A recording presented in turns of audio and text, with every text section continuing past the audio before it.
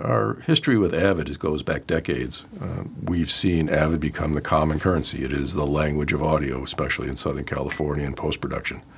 It is rare to find a facility that is not Avid centric, whether it be Pro Tools and Pro Tools S6.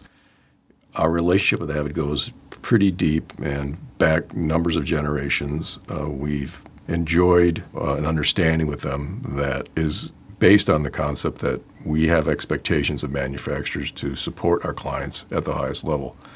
And that is the expectation we have with all our manufacturers. And Avid understands that, and we've been pretty successful along those lines. Uh, the S6 is a natural development of work surfaces. And when you have a high track count, you know, 2,000 tracks does not make any sense for a 2,000 input console the complexity can be managed much better. So the S6 being the natural extension of that evolution uh, after a number of earlier Avid products, it is what people can use and want to use. It makes a lot of sense to stay within the same workstation you do your sound design in, do your music recording in, and the representation onto the desk is is meant to be as tactile as possible because in the end this is still an art form and the people that mix are artists as well. Secondary rooms uh, for projects, especially, often would like to see uh, a smaller work surface involved. That information, again, relates back to the Pro Tool session, which then comes out and is exploded on an S6, is quite advantageous.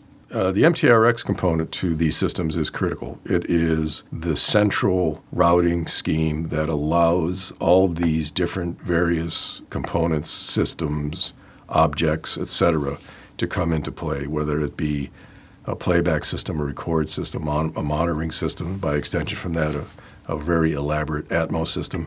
The MTRX at, at, its core is a 1500 square router.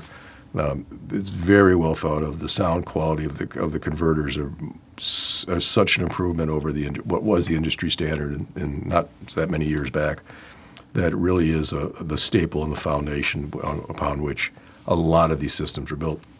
And as they add more and more capability of that system, it just gets more and more efficient.